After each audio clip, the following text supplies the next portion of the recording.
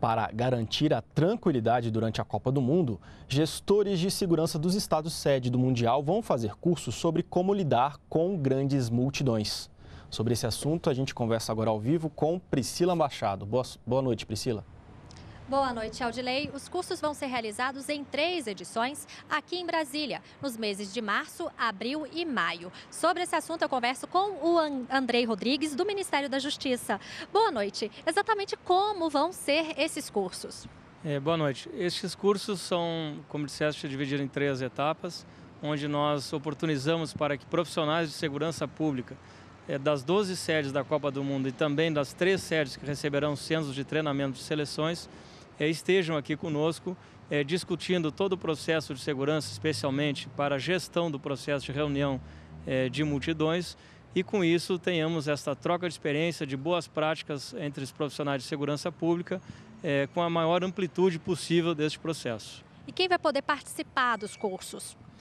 Os, os alunos deste curso, eles são todos profissionais de segurança pública, das polícias civil e militar, né, dos 15 estados que vão estar aí eh, participando do processo de segurança da Copa do Mundo e que tem o perfil de gestores. São aqueles profissionais que estarão à frente de efetivos que efetivamente estarão é, operando no dia dos eventos.